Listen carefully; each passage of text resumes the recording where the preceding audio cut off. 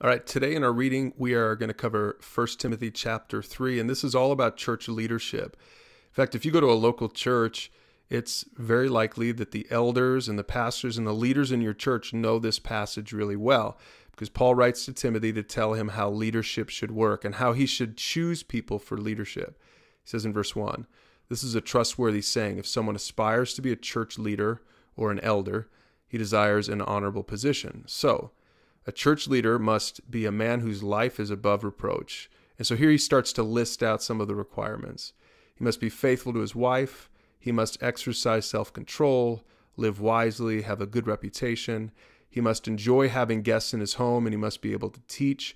Now, I'll let you read the rest of this description, but remember, he's talking about this in the context of a bunch of leaders in Ephesus who were not godly, who were not the right men or women for the job. And so that's why he's telling Timothy who the right ones are, right?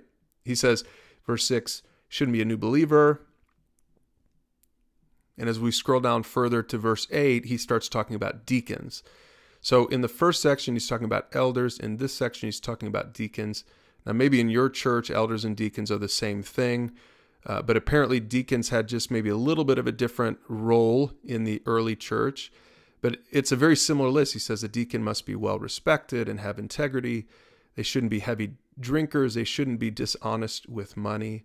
And as we scroll further down, I just want to show you how the family fits in. He says in verse 12 a deacon must be faithful to his wife and he must manage his children and household well.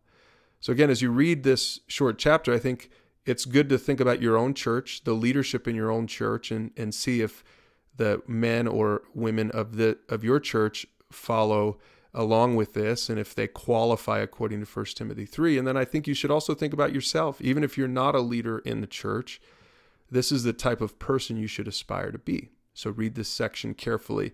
Now, in verse 14, he sort of summarizes this. He says, I'm writing these things to you now, even though I hope to be with you soon, so that if I am delayed, you will know how people must conduct themselves in the household of God this is the church of the living God, which is the pillar and foundation of the truth.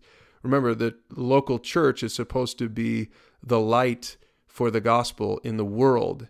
And so, hopefully, your church, if you go to a church, your church is that. And the early church was supposed to be the same thing. So, again, I'll let you read 1 Timothy chapter 3. You're ready for it now, and we'll see you tomorrow for chapter 4.